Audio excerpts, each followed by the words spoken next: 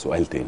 هل حضرتك متوقع إنه الكلام عن العودة أو استئناف النشاط في 2021 أو 2022 هل هو كلام واقعي ولا الناس بتحط أسوأ سيناريو وأصعب سيناريو حتى تأتي الحلول الحقيقية أو الأكيدة؟ لأنه في مؤشرات جيدة جدا عن تعرف على أمور جديدة في تشريح الجثث وفي التعامل مع آثار هذا الفيروس وما يسببه داخل الجسم وعلى أساسه في بروتوكولات علاج جديدة بتنبئ بأخبار فيها قدر من التفاؤل. إن في في كشف بيحصل علمي كل يوم في علاج لا، المرض. في جهد بيتم. فالناس بتقول إحنا نتفائل ولا نقول نمشي ورا تصريحات الناس اللي بتقول هنرجع النشاط بعد سنتين وإن الأمر مش هيتحل قبل سنتين؟ حضرتك شايفها إزاي؟ أنت لو عشت من غير أمل تموت. بالظبط. لا لا تتفائل طبعا.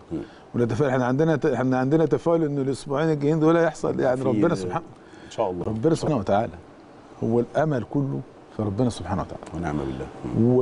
والأمل في ربنا إنه ربنا يلهم أحد إنه يكتشف حل للموضوع. يعني عشان بس ما حدش يدعي العبقرية. ان ربنا يلهم حد يكتشف علاج لهذا الفيروس. أو ربنا سبحانه وتعالى يطهر السماء والجو منه.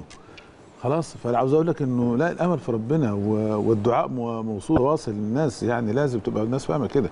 فأعتقد إنه بلاش نروح للسيناريو الأسوأ. خلي عندنا لو رحت للسيناريو الأسوأ هتبقى فيه هزيمه معنوية. خلي بالك والقتل المعنوي هو أخطر أنواع القتل. يعني المعنويات لو انهزمت هيبقى سهل جدا المرض يتمكن. أنا عايز حضرتك تعقب على فاعتقد تانية. فأعتقد إنه المسألة هو بيديك السيناريو الاسوء لكن في نفس الشيء أعتقد في اللي بيحاول يديك الأمل.